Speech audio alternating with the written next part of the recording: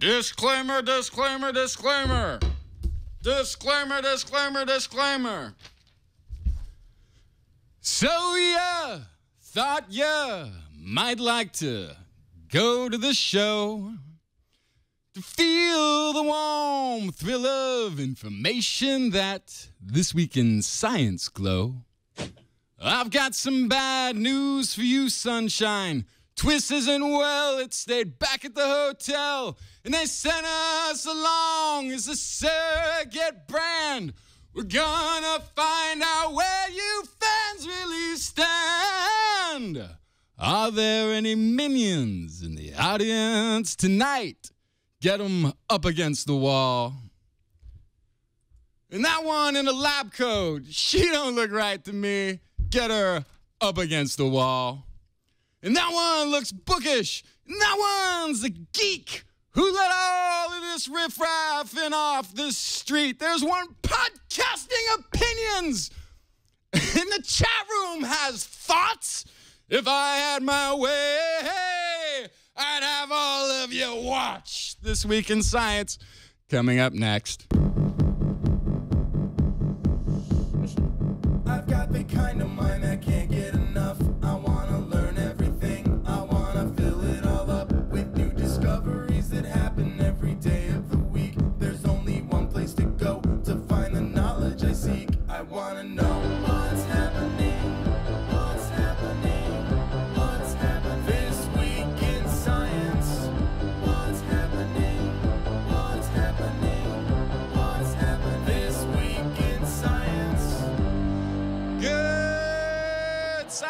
Kirsten and Blair.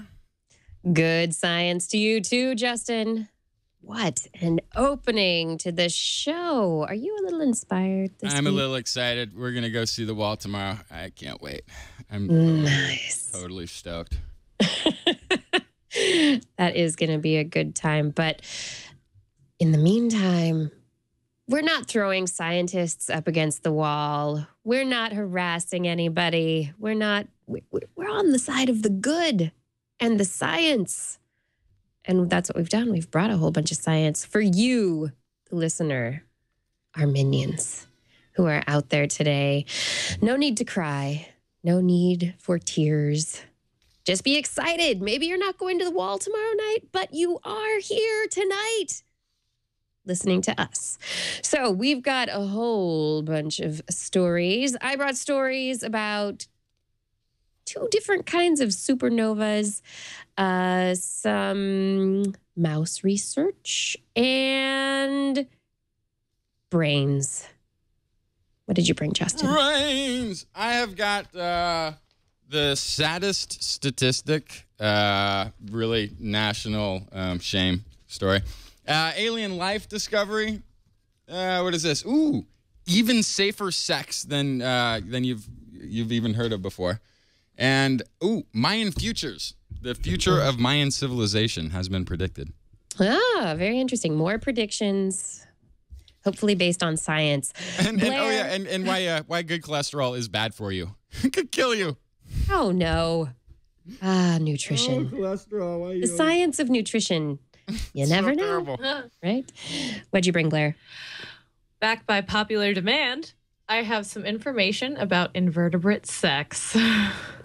Excellent. Excellent. And this time it's it's yeah, so last time I know I took some flack because the story was kind of heavy on how the males did not benefit greatly from the experience, but this time I have some females who kind of come out on the raw end of the deal. So all right. we're evening the playing field. Evening it out. We like things to be fair. All's fair in love and invertebrate sex. so let's jump into uh, supernovas. There was a study out uh, recently, this last week, um, looking at supernovas. And supernovas, we know the type 1A supernova. It's used as the standard candle for uh, distances in our universe because we know exactly how bright they are, how, how bright they are, and usually about um, and and usually and, and because we know how how fast light travels through space. We can use the brightness and the the speed of light to be able to tell us distance. And because type 1a supernovas just explode with the same intensity pretty much wherever they are we can use them to be able to measure very accurately or relatively accurately uh, how far away things are in the universe question, though, has been exactly how accurate these measurements are because there have been a couple of different models that physicists have come up with to explain how type 1a supernovas go supernova. What is it that actually causes these stars to explode with such ferocity? And so researchers have, have been debating these two models back and forth and back and forth, and nobody's really been able to, to figure out which one is right until now. And the answer is that both models are right. So, uh, a Smithsonian astronomer and Clay Fellow Ryan Foley, um, who's from the Harvard Smithsonian Center for Astrophysics, has been looking at this problem uh, with Robert Kirshner from uh, Clowes Press, Professor of Astronomy at Harvard University. And there are looking at these two different models, what they call there are the single degenerate model, or there's a double degenerate model. And in the single degenerate model, a white dwarf sucks up material from a companion star. So it's white dwarf and then another star. And that white dwarf just sucks up material from that store, from that star. And because of the addition of the additional material from that star, it lets it go supernova. So a runaway nuclear reaction comes about. In the double degenerate model, two white dwarf stars merge together and that causes an explosion of the supernova type. However, uh, the single degenerate systems end up with gas from the companion star around the supernova. So even though uh, the white dwarf has sucked, sucked up the material, the matter of the star, it doesn't suck up all the gas. And so there's leftover gas from the star as a remain around in the remains of the supernova. The double degenerate systems don't have that gas because there's an, uh, because of the way that the stars merge. So I love the quote here. The Robert Kirshner says, just like mineral water, uh, it can be with or without gas. So so can supernova.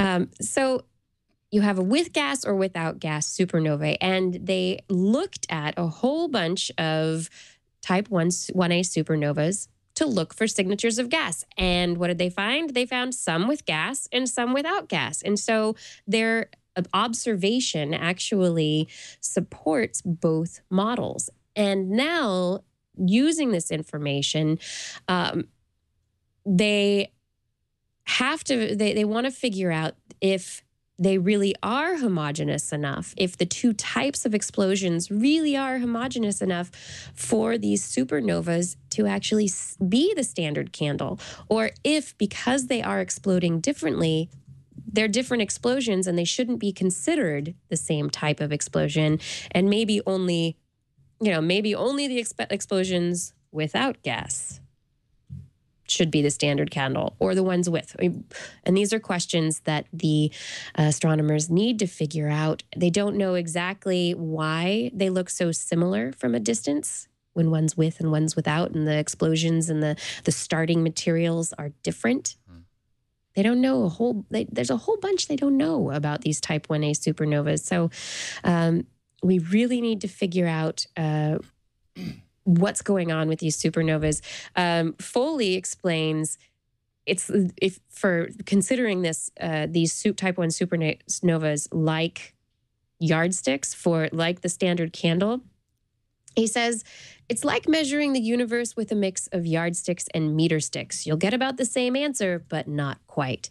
And so he's saying that if they're slightly different and they're not really homogeneous, they shouldn't all be type 1A supernovas, that some the accuracy is going to be slightly different and that they they probably are not exactly the same. Having been a single degenerate, uh, gassy person for a good part of my life, Yes. I would actually, I would, I would suspect that if there's, if the the signal that they're getting, the illumination that they're getting seems similar and seems consistent, even though they have different types of uh, uh, supernovas going on. Chances are, what they're what they're discovering is that there is a maximum threshold for the amount of an explosion that can be taking place in an area of space. And Right. if that, if there is, if the stand, that's I mean, which is brilliant for giving standard candles of distance. Uh, which means that even if there was more fuel to one supernova versus another, it doesn't matter. It can only explode so much uh, and be so illuminated in one area of space that it's that it's blowing up in that it doesn't matter how much fuel it is. It reaches a maximum, and that's our standard candle. That's brilliant. And then you know, then we got to figure other stuff out about space beyond that. Right. So maybe there is the there's a threshold. Right. And so you get enough material to cause a supernova explosion and what and within a particular range, it doesn't really matter. Mhm. Yeah, that's what you're saying, right? That, yeah, exactly. Yeah. Yeah. it doesn't it doesn't matter if you've got uh, at that point if you've got twice as much fuel or you know uh, three times as much, you're only going to be blowing up so much in that in that region of space. Yeah. The and then the the difference when you're when you're talking about massive distances, if you're even though a yardstick and a meter stick are technically not that different from each other when you're just looking at a yardstick and a meter stick, very close, right? Very very close in terms of how long they are. But still very But difficult to measure distances to supernovas with because Right, you'd have to it's a lot of rolling, I know. Really hard and take a long time. But but it, if you think about that very small difference between the yard and the meter magnified over millions of billions of miles light years i mean you're talking massive differences in accuracy. And so if we want to really measure the universe accurately we need to be sure that that the, the brightness that we're seeing really is the same no matter what kind of supernova it's coming from. Yeah. totally. Totally. Yeah. And CR1 in the chat room says, Yeah, I don't know, Dr. Kiki. You might want to ask NASA about that incident with Mars. Yeah. But that was, that was, uh, the, that was, yeah, I guess that is the yard versus me- Mhm. meter Oh, stick yeah, metric was system. It was the same. Yeah. Yeah. That was that it that was. You're well. absolutely Mhm. right. Hey, did you? Um, speaking of Mars, uh, Opportunity rover is uh, up and running again. oh, I know. So awesome. Yay, the little How- rover that How could. How long has this been now? This is, this is like a six years or something. This is crazy. Seven years. Seven years? I don't know. It's yeah, like- it's a it's really long time. Longer than that, I think. Even my goodness, because this would have been, yeah, yeah, it's about five and a half years. It's five or six, something like that. But this was supposed to be. This was supposed to go on for like a couple of months, right? And then it's supposed to be that was it.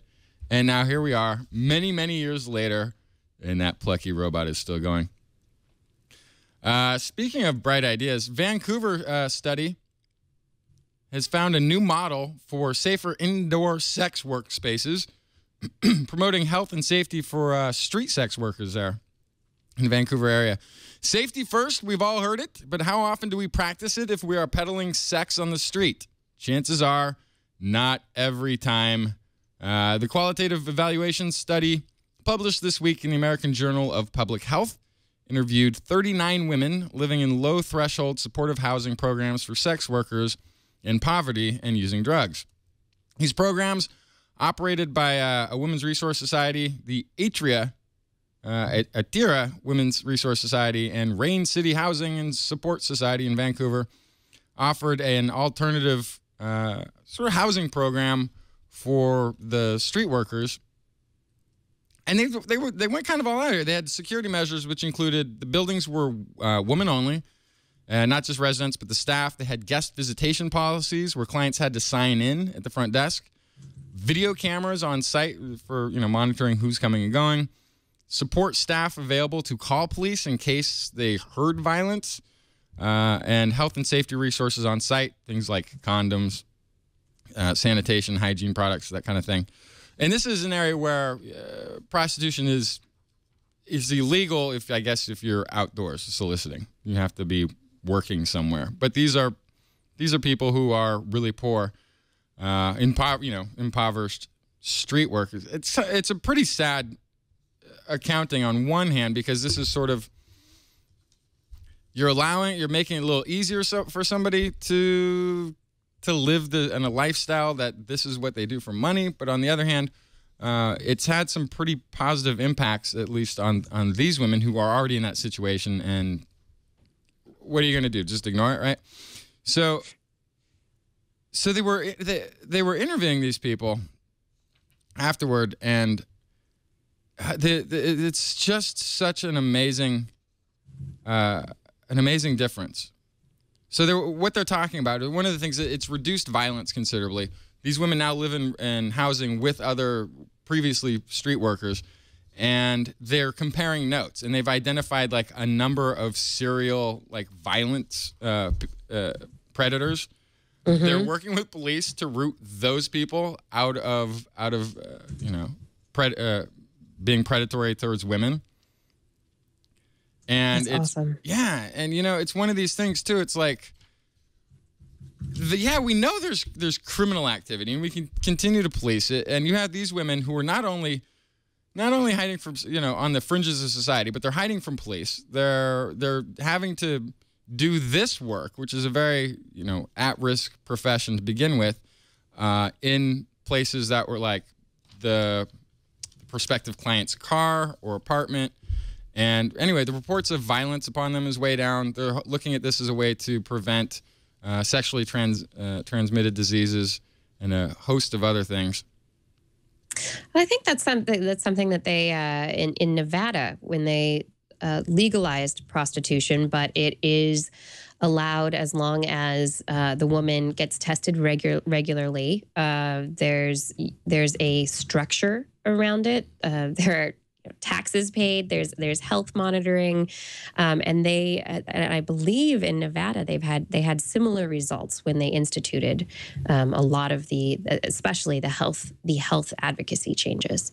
Yeah. You know, I mean, it's not this. This is one of those things too that this isn't a new situation. This isn't a new scenario. This isn't a new thing What that's do we- just what do- popped up in our modern society. What do we call prostitution? The uh, world's oldest, profession, right? right? Yeah, it's it. You know, I mean, just because we don't really approve of it, and there are, I mean, by making it illegal, it has marginalized it to the point where Yeah. it is in the hands of the criminal underworld. And if you make, you know, if you make it at least in this case, they haven't legalized anything, but they've got an agreement. The police are no longer uh, harassing the street workers. They're not doing arrests right now, so it's not exactly been legalized, but they are. They're sort of backing off um, prosecuting the the symptom, not the not the societal problem. I guess it is, if that's if that's what you want to call it. Very interesting. I'm so I'm I'm very enthusiastic that somebody's doing a very proactive approach to a problem that actually makes sense. And you compare Well, that to the the uh, abstinence only programs that are uh, that are taught in some schools as an alternative to sex education, and you find that teen pregnancy is actually higher in those areas teaching that. I so think I think looking at and, and you look at it from a data perspective and look at it from you know the actual you you you institute a change that you can compare to a control, which is either another area that's not that the change has not been implemented, or um, you know a past period of time that you collected data, and you can and you can see whether or not the change has been beneficial. And so, scientifically looking at the the possibility uh, the possibilities um, is you know always beneficial. I mean always you know you find out whether or not what you want to do works or doesn't work. You can implement it further or not. And now the question now that there's been positive results from this the question is whether or not more areas will pick up similar uh, solutions to be able to actually have positive change so that there is you know less violence towards women greater health within that community of people um, you know all sorts of things that could that choices that need to be made at this point whether or not to listen to the data. Right, and this is following uh, Ontario, which uh, I guess is the other. Is that the other side of Canada? Had a court of appeals that allows sex workers to legally work in safer indoor uh, spaces starting next year because the court uh, concluded that laws preventing sex workers from working together under one roof or hiring security staff fail to protect sex workers and exacerbate the, the harms. And ultimately, it is your results that were your, become your intention, regardless of and how you intended something to to to go.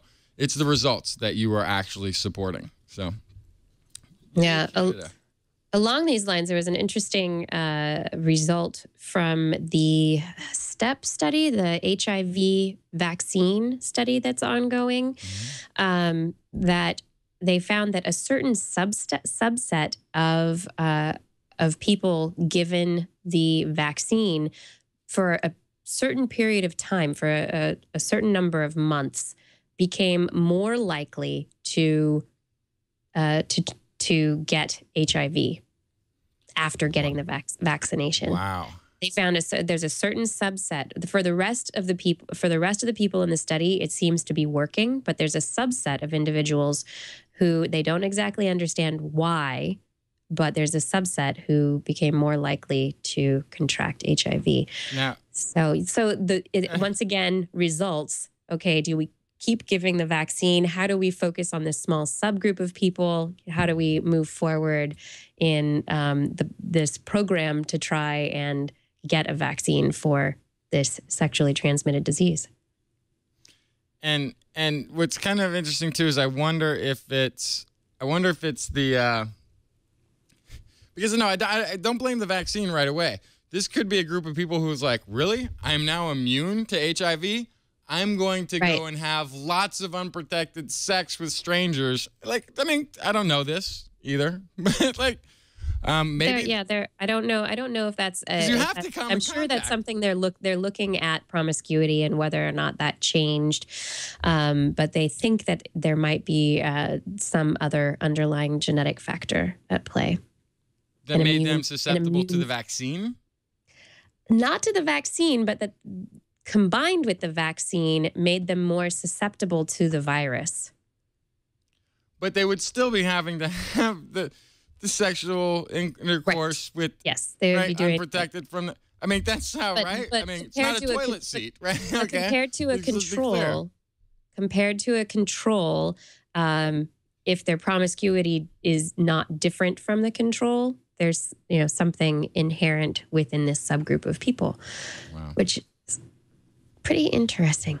But anyway, that's just a sideline. I thought it was just a fascinating is. thing that I ran across this week. Blair, Blair's got invertebrates for us. Blair's Animal Corner with Blair works at a zoo, likes hippos. and if you just tuned in, you are listening to TWIS. All right, so we were just talking about Vancouver and Ontario. I have a study from Montreal. Nice. McGill University looked at pond skaters. That's Rheumatobates rileyi. and the they looked at false color electron micrographs of high speed video, and they saw that the males have really elaborate antennae compared to the females, and they flash froze some of their subjects in the mating process and checked them out up close. And they noticed that the males were seeing that their these special antennae were perfectly restricting the female heads in place. So they actually match the contours of the female's head and they can successfully mate with even the most resistant of females. Oh, great. The reason they had to evolve this in the end was because the females after one mating attempt they can store sperm for their entire life. They're in, yeah. so they're not super long-lived creatures, but still. no, it's not long. They're a bug. Yeah. but they don't need multiple mating events. They just need one. And so it's the the further mating it's not necessary to them. And in fact having the male on top of them actually decreases their feeding success and increases their vulnerability to predators and other things. Mhm. But so it's up, as far as they're concerned, they'd rather just have the one event and be done. but that's not to the male's advantage because maybe she mated with one male and another male wants to get in the game. So Right. they have these special antennae. Because you all you end up at a certain point if you with multiple males there at a certain level there's sperm competition. Right. And Which is a whole nother bag of Right. So if you have if you have an an animal, an invertebrate in this case, who's storing sperm, then that that female can store the sperm from several males. right. And then when she finally decides to lay eggs and uh, and allow the sperm to contact the eggs, Right. then you want to be as you know, a part of that mix. Right. Exactly. Yeah. Part of it is better than not part of it at all. Yeah. So, th- what's really interesting though is that they found out that the antennae development in the males was controlled by one single gene. and this is where it gets really cool. They manipulated the gene in larvae and created specimens with varying stages of antennae development. And then they studied their reproductive success. And each step further in the development, they had highly increased mating success, which makes sense Mhm. but they could see exact causality there. So they could really separate it out and see, yes, this is actually increasing their mating success. And if you look at the structures, especially um, the link on our site, or you guys can see it now if you're watching the video, it's really very different from a sensory antenna. It's large, it's muscular, they can actually they can use force with it, which a normal pair of antennae you would never be able to do that with. So that was really cool that they they actually evolved a way to get past that the female resistance, which, you know, I, I think is cool in this context at least. I don't know why, but like the idea of the of the antenna being used to lock in the female's head, it made for some reason it made me think of figure skaters like getting their skates locked together. I don't so I'm like I'm currently looking up images Oh, of figure skaters online trying to see if I can anyway. well, shall I go to the other one? yes. Okay. Now for the other All right. invertebrate story. So at Umea University, they looked at warehouse pirate bugs, Xylocoris flav- flavipes. And these bugs, along with other insects, exhibit something called traumatic insemination. That sounds fun, right? No. That's when the male will pierce and penetrate his mate through her body wall Ouch. and inject sperm. And obviously, that comes at a great physio- physiological cost to the female because she can get infected and she's getting injured in the process. Not good for overall health. No. No. And the females, I guess they're very picky in this species, Mm-hmm. or at least they were. Were and and so the females would turn down a lot of males, and now the males can just kind of now the males are just like, I stab you. bam. Oh man. And what they were looking at was if it's so costly to female survival, how is this something that stayed and has made it through? If if females are dying, how are we still making larvae? Right. So what they found was that alongside with traumatic insemination, other things evolve in the females. Like the these females have developed completely new organs that help to prevent infection. Oh. Another thing they noticed is that females die young because of this, but they will often lay more eggs each day before they die. And so what they're looking at right now is if that's something that the females just do or if that's actually affected by chemicals coming from the male through the process. Hmm. Interesting. So they don't know the answer to that yet. Yeah. but it makes sense that if you're going to injure your female in the mating process, which I would this- not recommend. Keep this in mind. there has to be other ways for the female to overcome that hardship in order to stay evolutionarily viable, I guess. Right, because if you as a as a species, if the male is killing the females in the process of Yeah. mating and um in and in the process making it impossible for the females to get to the point of laying eggs. Uh-huh. You know, that's number 1, you don't want to do that or it they the female lays eggs but maybe not enough eggs Right. for the offspring for enough offspring to be born because um mortality is often very very high right. in young. Yeah. So well, plus yeah, if, there are all sorts of places where it's just the injuring the female. yeah, That's it's that's a it. call. Yeah, in, but it's but it's interesting. But if interesting you that don't if you don't stab her, she's not gonna lay eggs. right. That's- in that's this Well, species, it's so- traumatic and it, does it have to be traumatic There was a- insemination? oh, no. So there's an evolutionary crossroads if you think about it. So some of these bugs back in the day were trying to impress the female, and some of them decided to just stab her.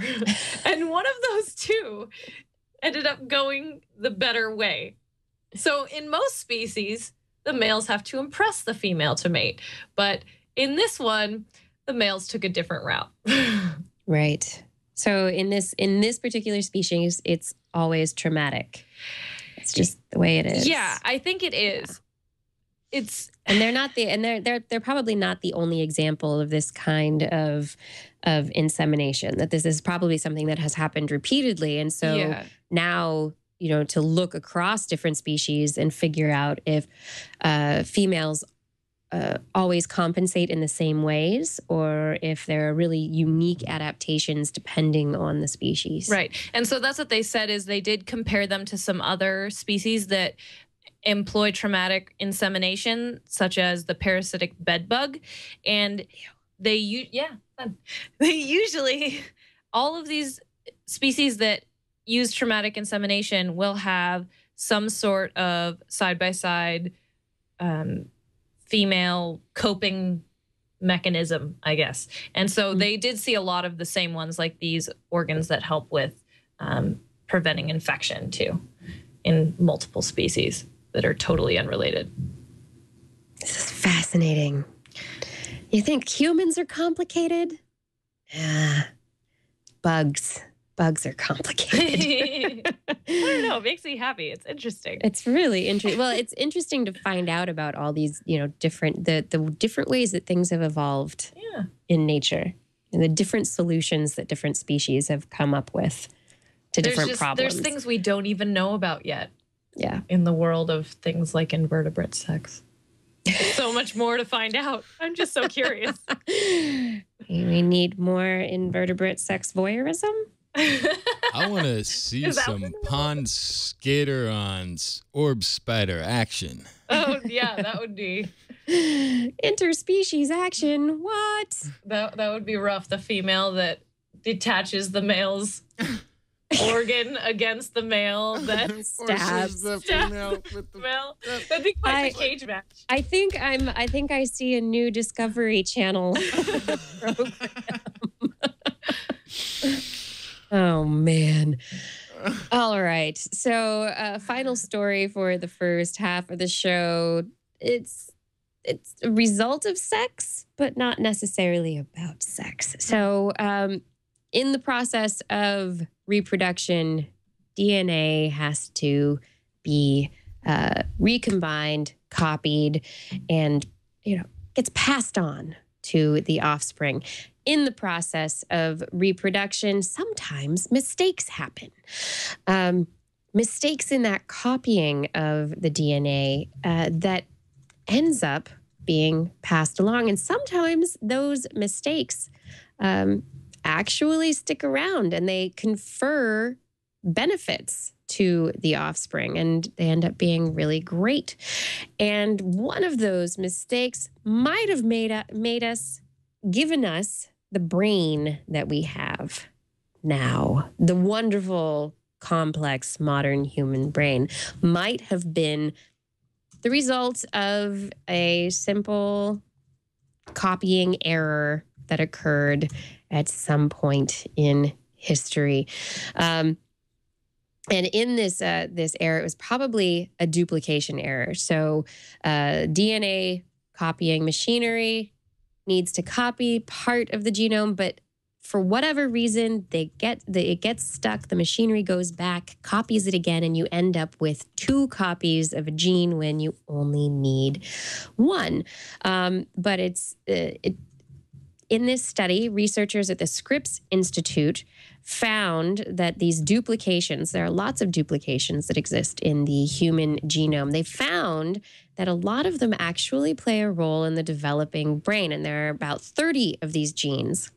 And there, uh, the, some of these 30 genes are some of the most recent of our genetic uh, changes or additions.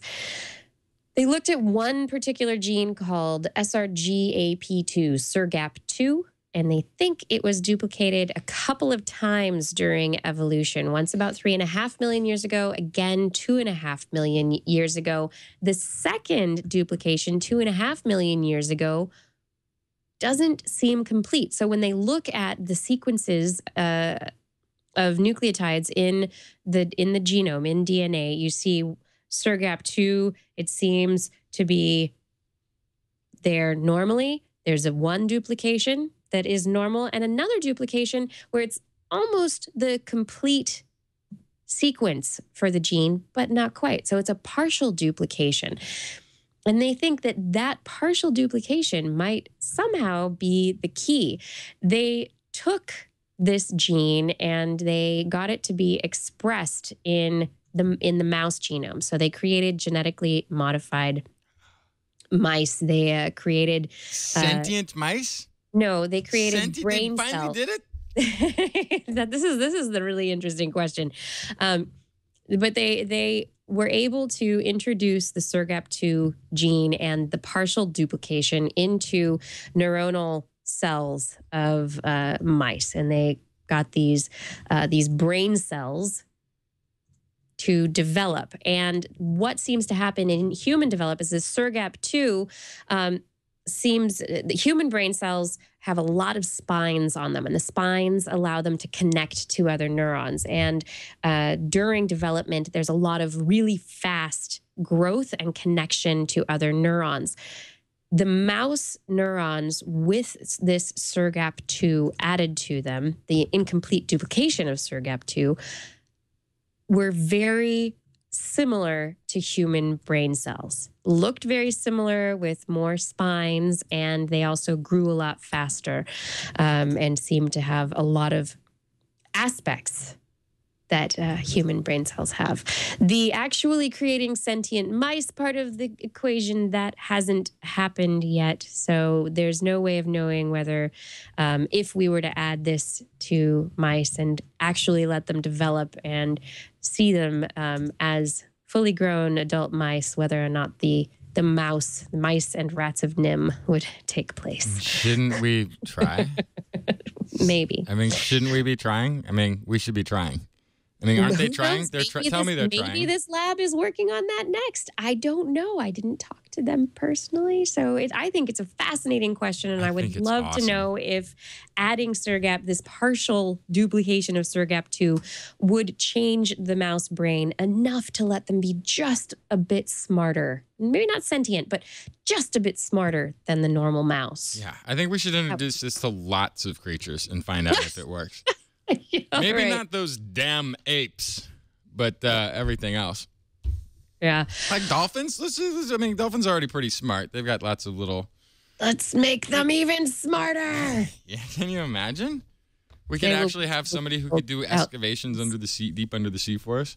That's right. That's totally right. rad. Dolphin scientists.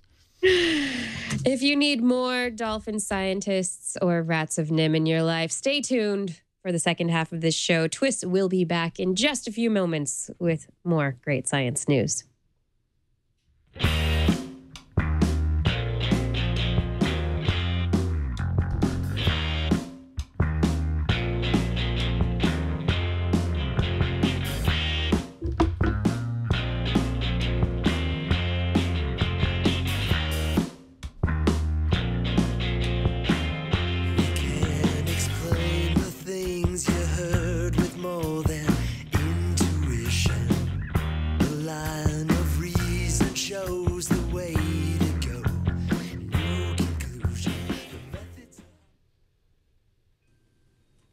Audible.com is the leading provider of audiobooks.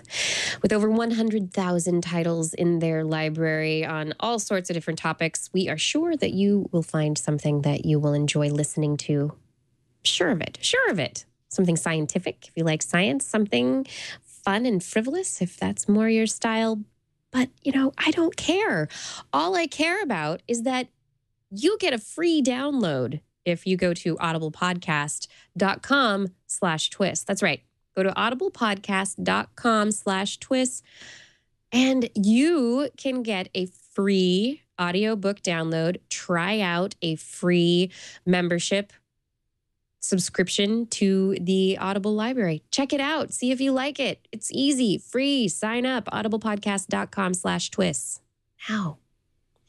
Additionally, TWIS has merchandise that you might enjoy. So head on over to twis.org to purchase our 2010 Science Music Compilation CD or and do or or and and or a World Robot Domination t-shirt. That's right. Get your own t-shirt. World Robot Domination. They are coming and they will rule the world.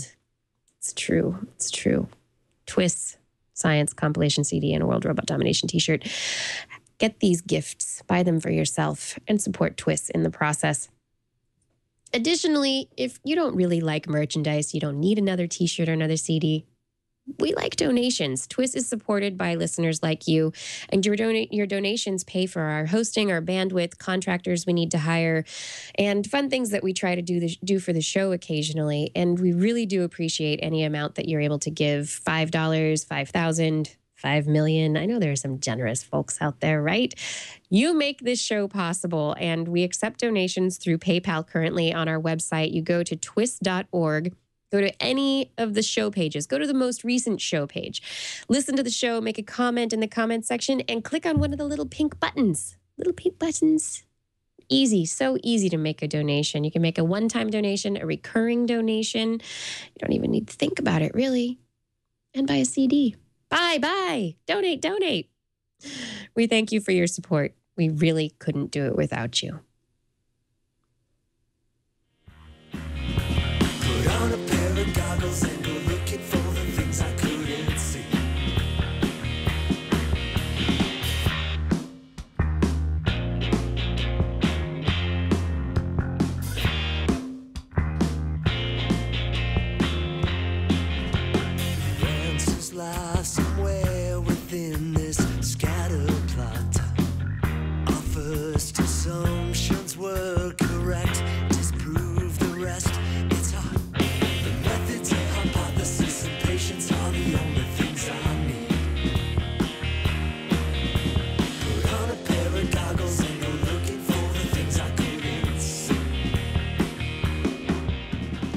And we're back with more this week in science. That's right. Justin, what did you bring for this second half of Oh, the want show? the saddest statistic in our national uh, national conscience here? I don't like sad things, but okay, give it to me. 2009 study.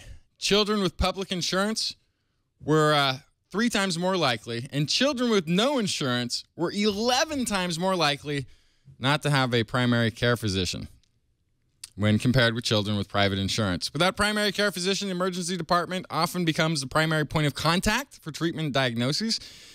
I don't know if you can imagine taking a child to a, an emergency room, uh, especially if you're in a large metropolitan area. It is a frightening place to take a kid who's already nervous about going to see a doctor for whatever's ailing them to see an emergency room in a major city in America. Uh, this is a new study scheduled for publication in Journal of Pediatrics. It's a report that children with private, public, and no insurance may receive completely different levels of treatment. This is uh, Rebecca Mannix, MD, MPH, which I don't know what that means. Uh, colleagues from Children's Hospital Boston retrospectively assessed 84,536 emergency uh, emergency department visits of children 18 years of age and younger in the span of 1999 to 2008 using national hospital ambulatory medical care surveys, uh, which is an annual support of 480 emergency departments Over a 10 year period, researchers found that 45% of children uh, in the in the emergency rooms had private insurance. 43% had public, and uh, 12% had no insurance. Compared with children with private insurance, those with public or no insurance were almost 25% less likely than those with private insurance to undergo testing, receive a medication, or undergo any procedure when seeking care. That is uh, pretty insane. All the children with uh, public insurance were 20% more likely to be diagnosed with a significant illness compared to children with private insurance. There was no difference in the level of treatment based on insurance status among children with significant illness. That's at least um, encouraging. But it sounds like they have to, doctors on the scene are perhaps having to diagnose more sig- significant disease in order to get treatment. Is that what that sounds like? It's un- Yeah. yeah. It's unclear Yeah. whether these insurance based differences represent under treatment of children without private insurance or over treatment of children with private insurance or appropriate care for all. Uh, but it looks pretty clear if you read the numbers. That's disgusting, people. That is the sickest thing. And it's always the thing you hear about when, eh, when you're hearing about the healthcare arguments in this country is that it's people's choice whether or not they want to be insured. You can buy insurance, just purchase it for yourself. But it's, of course, those parents who can't afford the insurance passing on that poverty, sharing that poverty with their children, of course. Absolutely disgusting. That's the worst thing I've read in a really long time. I'm sorry. That was probably It's not, the best kickoff to the second half of the show.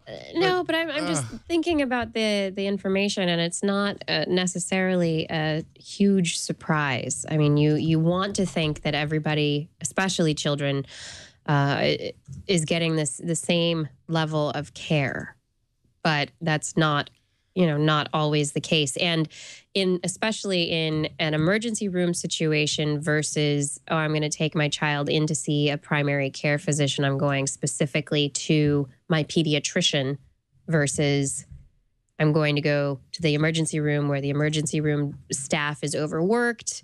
Other people who don't have insurance are using the ER as a uh, a, way to get into the health system to get things uh, uh, helped out. I mean, it's it's unfortunate, and I'm not necessarily surprised at the discrepancy. But it's important that somebody has made these measurements and is actually is publicizing them. And and you know what? I, I, I, I guess it's partly because I'm just too optimistic about the way things actually work. that I I wouldn't think that um, no care could take place if something was diagnosed or something was was was noticed. I would think that any hospital in the in the country would take care of a child, insurance be damned. And I guess that's just insanely overly optimistic of me but I thought that's what that profession did in terms of children. And I, I guess it's not true, and I didn't really know. But in terms of uh, something that is uh, a dire illness, it is true. You know that people, and that, I mean, it. Doctors, hospitals all over. If it's something that is really, really bad that the child is ailing from, they're going to help and take care of that kid, no matter who that kid is. If it's something like a common cold, maybe they are not going to uh, pay it as much attention. Once again, because of the uh, just the the number of of people and cases that they have to deal with. I'm not making excuses for anyone, but at the you know at the same time, there are probably lots of factors that that feed into this. That could be. And you know, the other thing is maybe that emergency room is also diagnosing these dire cases because there is no primary physician to mm-hmm. have found them and discovered them and to be Right. treating them already. to catch them early. Right. Exactly. So we just wait till it's it's a serious illness. I don't know. I just yeah. Ugh. Ugh. I, yeah, I agree. I think that's. I think that explain uh, that. I think that is just the best response right there. Ugh, exasperation. what more can we do? we can we, well there's there are solutions but you know it's one of those things i'm i'm get i'm getting really fed up with the debate in this country about healthcare because it that is to me that's more important than than national security in the way at least that that's approached and funded and i think it is i think it is a national security issue Actually, it's Yeah. much more important to me than the you know homeland security thing. Is is treating millions of children across this this nation way Yeah. more important. Priorities are just jacked up right now. Yeah. I will I will agree priorities are jacked up. Deep thoughts with Justin. Priorities in this country jacked up. That's what it is. jacked up. um, okay, moving forward for uh, some more up upbeat and light uh, light lively fun stories, I guess. Um, how about this one out of the proceedings of the National Academy of Sciences? Diana Tamir uh, led this study looking at the brains of people uh, and how they were activated while they talked about themselves. Mm-hmm. They found that uh, people like to talk about themselves. so they found that regions of the brain that are activated by uh, food, sex, money, drug addiction, all of the kind of um, ooh, this is exciting. The thrill seeking parts of the brain uh, were activated when people talked about themselves. And it's estimated that 30 to 40% of your speech has to do with you. Uh, Tamir says self disclosure is a behavior that we do all of the time, day in, day out. When you talk to people, they'll often often talk about themselves on Twitter and Facebook. People are primarily posting about what they're thinking and feeling in the moment. This is one piece of evidence about why we might do that.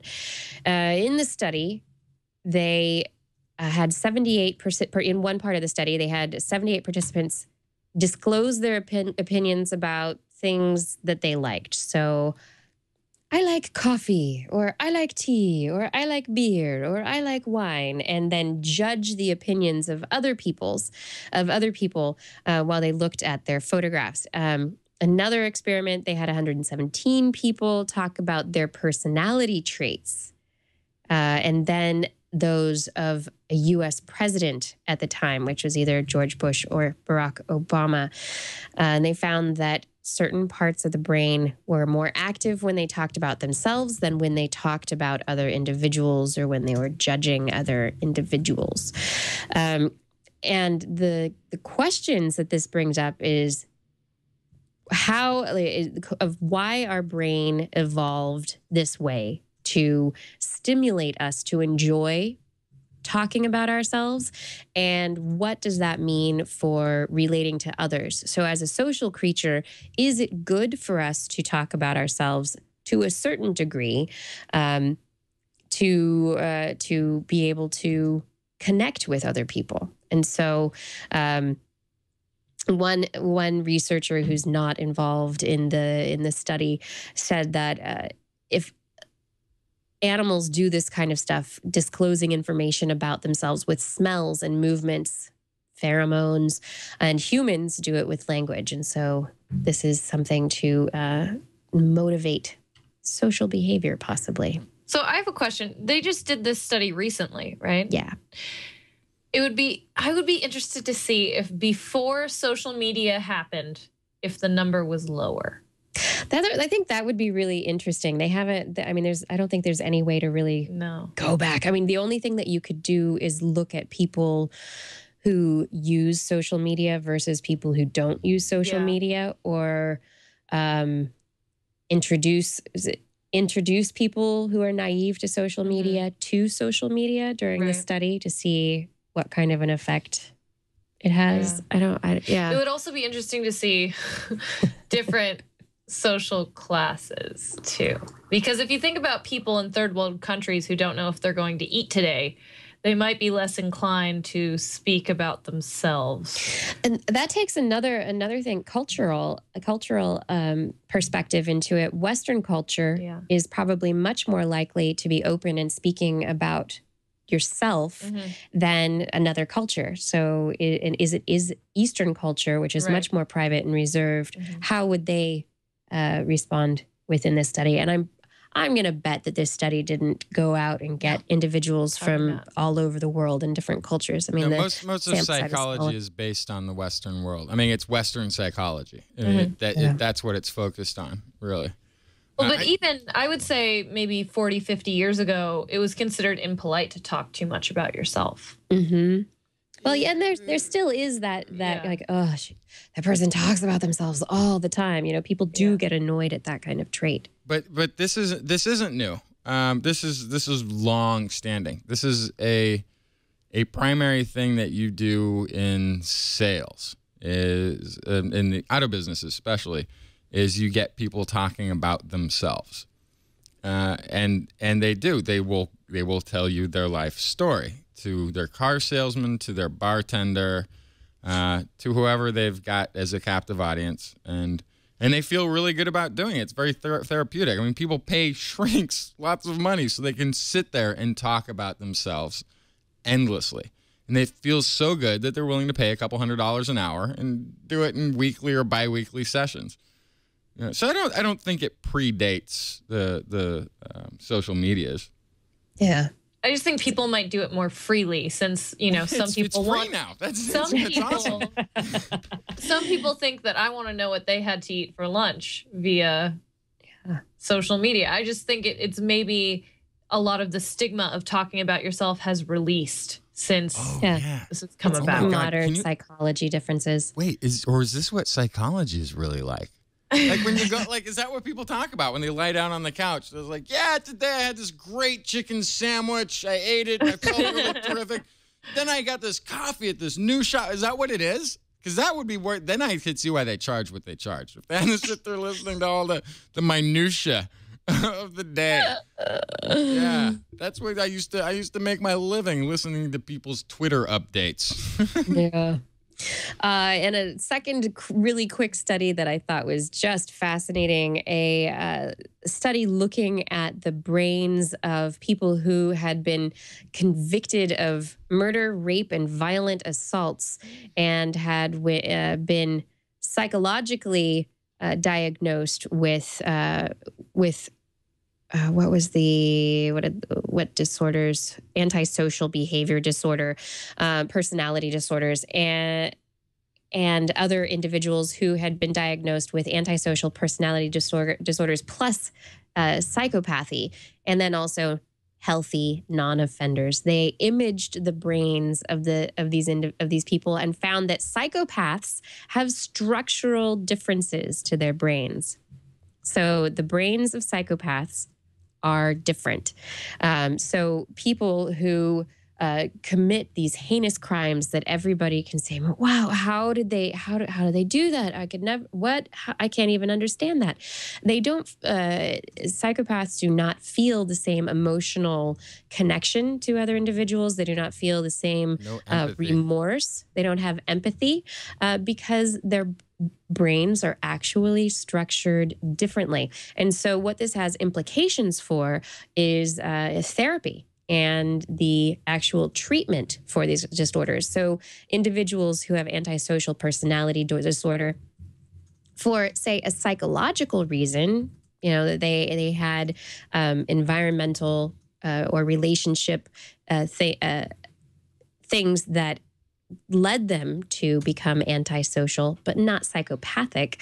Um, they those individuals can still benefit from therapeutic intervention to help them to recover and maybe not rape or have violent acts again in the future. However, individuals who are psychopaths, their brains are different. And so, such therapy, the same kind of therapy, might not be successful at all. And so, there might, uh, it suggests that we should probably be looking at these individuals Lock differently in up. terms of. in terms of behavior and if we do want to try and get people to re-enter like this to re-enter society or to work with them within society how can we uh, work with individuals who have a different brain structure We don't. We we we lock them up. There's there's the first significant good reason for locking somebody up, preventative crime, uh, is we give everybody the test. Everybody gets How the about you test. just treat them before they hurt someone instead? right Well, yeah, but lock them up Right. first. because, well, you know, yeah, what's that, before? that sounds like a really. What's uh, before? What does before mean? If we have if we have physiological proof that their brain structure is going to allow them to be in this category, I say that's uh, that's the sort of thing that we need to keep this country safe, and we should we should be proactive about it. Everybody gets the test. Uh, if you fail, if you don't have empathy for your fellow human being, as a fellow human being, I say uh, lock you up. and I think that is Pre-crime. It is pre-crime. It's- Absolutely, it's pre-crime. It's pre-crime. It's when you want to solve a crime. You want to solve it ahead of time. Teens involved. It's yeah. I think this is this is fodder for debate, and I can't wait to hear what people what people uh, say if we Lock get 'em up. emails or comments back on this story. I I just brought it up as a scientific story of interest, and now there's it. But I think the thing is, we have scientific evidence like this, so how do we use it? Do we go the route of lock them up? This is a debate that should happen. This is a, a debate that people should be interested in because this kind of scientific research is going to uh, determine how our lives are lived in the future. So I think this is I think this is really really interesting where science uh, one of the interesting interfaces of where science meets meets culture. Do you have any more stories, Justin? Oh, lots of them. Uh, painted calendars have been discovered, going well beyond 2012. A lost city built by the ancient Maya and discovered nearly a century ago. So how lost could that be? Has been found uh, to be an accurate prediction of the past and perhaps the future.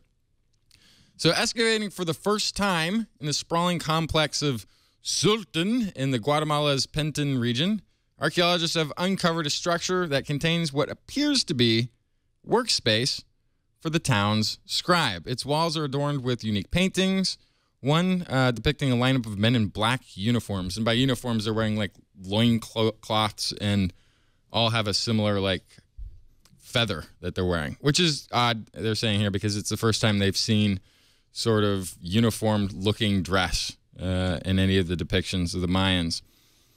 And along with this are hundreds and hundreds of scrawled numbers, calculations relating to the Maya calendar. On the wall of one structure, thought to be a house, is a covered with tiny millimeter thick red and black glyphs, unlike any seen before any other Ma- Maya sites. Some of these uh, represent various calendrical cycles uh, charted by the Maya, the 260 day ceremonial calendar, 365 day solar calendar. There seems to be a huge emphasis throughout all of these in uh, sort of trying to determine when the solar eclipses will take place. That's a very important date that they they they uh, they're they're tracking. What's kind of interesting, it's whenever the Maya calendar ends, it doesn't end like that's the end of time. It ends as in that's the end of that calendar and it starts a new one. And the example given here by one of the researchers, Anthony Aveni, professor of astronomy and anthropology at Colgate University. Uh, it's like when you roll over the numbers in a car, or which doesn't happen anymore. But it's it's like when the numbers used to roll over and you'd go up to a hundred thousand and would start over at one again. I wonder if like the old uh, if if the Mayans, the ancient Mayans, you know, had had a had a party every time there was a, a new calendar rollout. It's been 400 years. Yeah, let's have a party. There, if there was some significance at all to the calendar rolling over, if it was just something that happened. You know, because we have New Year's Eve every year. We had at the change of the century, it was a big, you know, 99 to 2000 was a really big year to uh, to celebrate. I just I just wonder if that human uh, need to celebrate uh, was is consistent. I, I bet it is. I mean, that's a very human thing to want to, you know, have a party for a significant event, right? Yeah, Goldizader says Mayan parties involved human sacrifice. Exactly. So they're like, "Woo, party! Where's my sword? Time to sacrifice a virgin." Yeah, this this is uh there's there's this one uh, funny part I'm trying to find in here where they were is it the one where they're tracking the phases of the moon? Oh yeah, so they found numbers that were tracking uh tracking the phases of the moon, right? And it was like it's scrawled numbers all over this huge all calculations going on all over the place. they were trying to reconcile uh, somehow reconcile their grand unification theory, right? Reconciling lunar periods with the solar calendar. If we could just get the two calendars to the, to the right, we could discover something huge: the grand unification of of sun and moon. And uh, they, said there's this one part where uh, they're looking looking to predict eclipses, where you've got these really nice numerical notes painted in red, uh, and then next to them there's a whole bunch of corrections. like, so it's even then, even the Mayans didn't write stuff in stone. Even when they wrote stuff in stone, they painted corrections next to them. I love it. They, that's that's science right there. Here's the calculations. They missed it by a couple days. Okay, let's go back, add a little bit of math. Uh, what's also interesting in this, there are calendars they found in this that reflect a completely different worldview than they have been portraying, uh, on, you know, in the in the by basically newscasters. I don't know who else has been talking about that the world's going to end. I I only hear it from from like local newscasters. The Mayan calendar says, right? The uh, they have dates, important dates that reach 7,000 years from now on into the future. Uh, and very much unlike uh, us looking for hidden messages at the end of the world in Mayan calendars, Mayans were making calendars that looked pretty much like a guarantee that the future would be the future as it was then and that it would never change. They had, they had, I mean, they really had plans for parties 7,000 years from now. And that was just, and that's, and, and that's just this one calendar. I mean, it's very possible they just they were calculating out beyond seven thousand years, and we just haven't seen those calendars yet. You know, I mean, I, Kirsten, I like it. It's- it's Preemptively trying to stop the end of the world theory 7,000 years from now. yeah, Preemptively debunking the that's 7,000. right. I, I am I am future. debunking that to yeah, yeah, yep. The end of the world. Uh, it's that that party's not going to happen in seven thousand years. It's not happening December twenty first, two thousand twelve. It's not happening in seven thousand years. It's sorry, kids. But I hope to have a not the end of the world party. Right? Should be a good time. I think I think we, we should have a big celebration. It'll be a lot of fun. Yeah. yeah. Uh, I had one more story for the hour, but you know what? It is time to. Is it is it really time? I had one more too. I just kind of read this Yeah. line. This is she's talking about uh, you know maybe maybe there's life in uh, uh, outer space uh, out there, other life, but uh, we should just probably make it here. It's more likely, uh, less likely that we're going to s- uh, discover uh, a distant world like Columbus did, and much more likely that life will be de- uh, invented by a Geppetto on Earth He's toiling Oh, over his workbench. I love that. I That's think interesting. I think humans are lonely and long for another form of life in the universe, says uh, a- Dr. Joyce. Yeah, anyway, Uh, um, Dr. Joyce, you're so pessimistic. I'm, that's just, that makes no, me. no, I like I like what she's saying. It's gonna be Okay. uh, the, the her- new when we discover life, it'll be a Make Pinocchio, Pinocchio.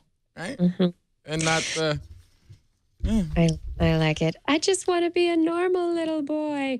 Um, in terms of life, um, our own life, this this study is um, a suggestion that to understand our microbial health, maybe we need to measure it daily. Uh, research looking at the vaginal microbiome of a bunch of women found that changed a lot over time and the, it's a really dynamic system and the whole idea of certain types is of a, a microbiome type is not necessarily the way it is that um, there are other factors at play and that these are ecosystems. We are an ecosystem.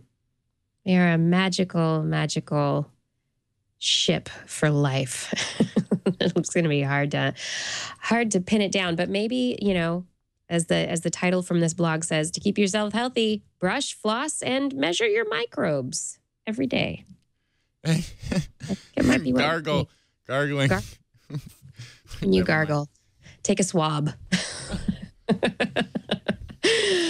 and Oh, that thank you everybody for enjoying today's show. Uh, we hope you enjoyed it. TWIS is available as a podcast. Just Google us in the iTunes directory, and you can subscribe and listen to shows dating back seven plus years now. Hundreds and hundreds, several hundred shows are in the books. If you have an Android device, you can look for Twists for Droid. That's an app in the uh, marketplace. TWIS, the number four Droid app in the Android marketplace. And we're Twists on the iPhone.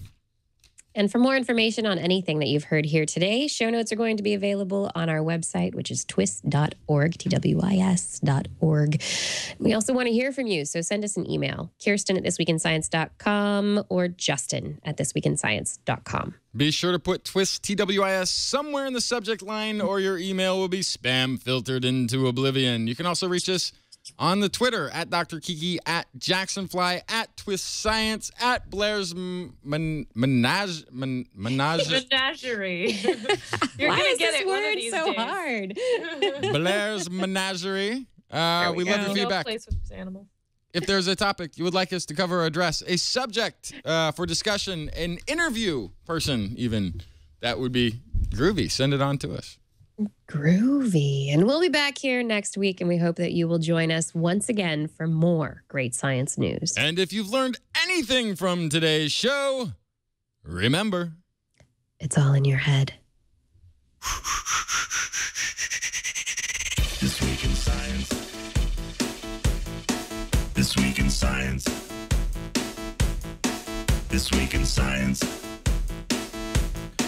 This week in science, it's the end of the world. So I'm setting up shop, got my banner unfurled. It says the scientist is in, I'm gonna sell my advice. Show them how to stop the robots with a simple device. I'll reverse global warming with a wave of my hand. And all it'll cost you is a couple of grand. Cause this week's science is coming your way. So everybody listen to what I say. I use the scientific method for all that it's worth. And I'll broadcast my opinion all over the earth. Cause it's this week in science. This week in science. This week in science. Science. Science. This week in science. This week in science. This week in science. Science. Science. Science. I've got one disclaimer and it shouldn't be news. That what I say may not represent your views, but I've done the calculations and I've got a plan.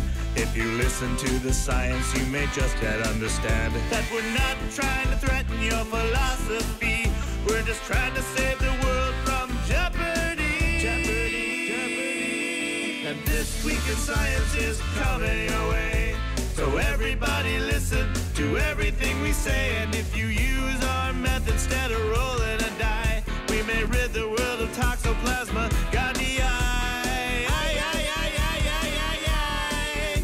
Cause it's this week in science. This week in science. This week in science. Science. Science. Science. This week in science. This week in science. This week in science. Science. Science. I've got